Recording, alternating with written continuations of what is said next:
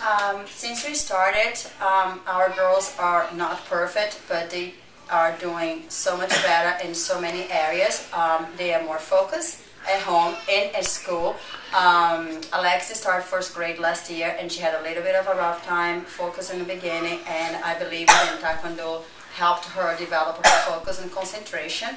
And also, um, Alexia used to give up a little bit too easily, and now she's very um, focused on everything she does. And even when she has a hard time, like in math, um, she never says, um, I can't. She always says, I need to try harder. And this is something that we learn um, at um, Taekwondo and here.